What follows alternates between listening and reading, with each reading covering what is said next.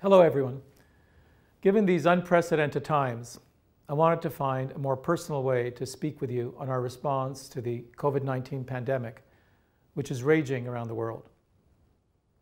Before doing so, I need to underline that nothing is more important than our health and that of our colleagues.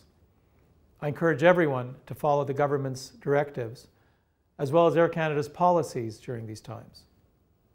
We're doing our best to comply with everything recommended by governments and health organizations to keep our employees and customers as safe as possible.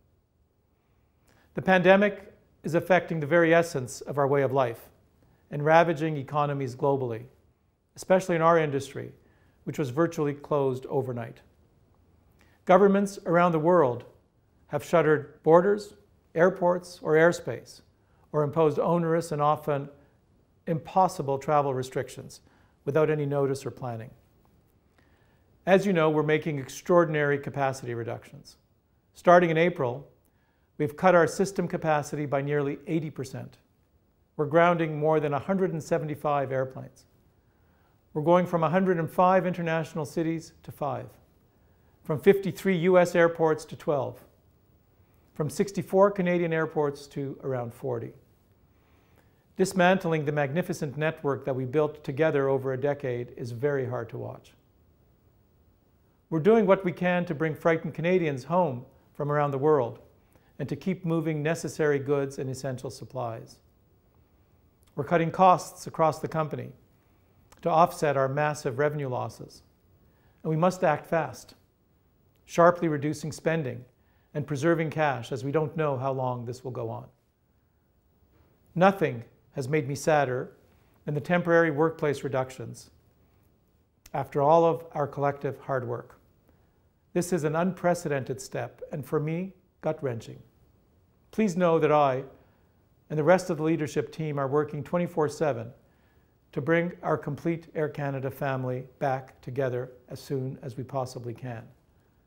I'm proud that we added more than 10,000 jobs over the decade, and I will not give up on any Air Canada jobs easily. I have total confidence we will survive. Our 10-year transformation has built a rock-solid foundation and puts us in a stronger position than almost any other airline in the world to survive this cataclysmic event. We have a strong balance sheet, healthy debt levels, and aircraft and other assets that have no debt against them and that can be used as collateral for borrowings. Be assured too, our pension plans are invested safely to reduce the effect of stock market swings.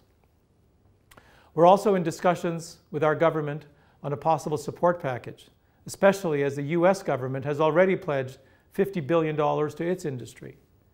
However, we're not waiting for that before doing what we need to do to position us to survive this. I understand that these are profoundly unsettling times. Vacant airports and empty aircraft drive home the seriousness of our situation.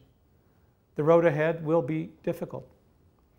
But as Winston Churchill said in the key moments of World War II, if you're going through hell, keep on going.